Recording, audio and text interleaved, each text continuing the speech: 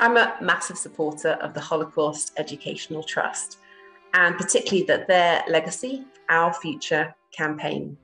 It was well over a decade that I joined the Holocaust Educational Trust on a visit to Auschwitz in the very darkest depths of winter. And what I saw, heard, felt, smelt, and learnt on that trip will stay with me for the rest of my life. I've seen the impact and the difference that the Holocaust Educational Trust has made to informing the next generation.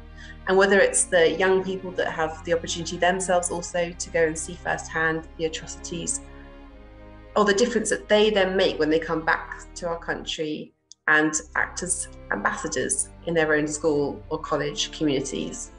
The ethos of the Trust is to ensure that none of us are bystanders, that we really do become, wherever possible, upstanders and make a difference and to ensure that what was history is never repeated.